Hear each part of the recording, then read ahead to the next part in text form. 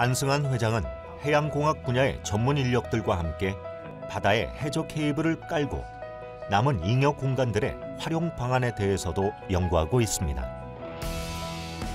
케이블이 바다와 잘 어우러지는 방법, 인공 어초를 넣어 바다 생물과 상생하는 방법 등 해양 생태계 보호 및 관리에 대해서도 많이 고민하고 있습니다. 회장님 지금 어떤 회의를 나누셨나요? 네, 지금 저희들이 제주도에서 에, 해상 풍력 그 발전기를 저희가 이제 타워를 세우면 거기에 해저 케이블을 깔아야 되는 공정이 있습니다.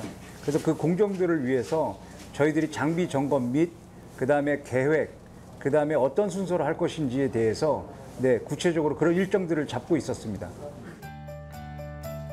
안승환 회장은 현재 제주도에서 진행하고 있는 해상 풍력 사업에 해저 케이블 포설을 앞두고 있는데요.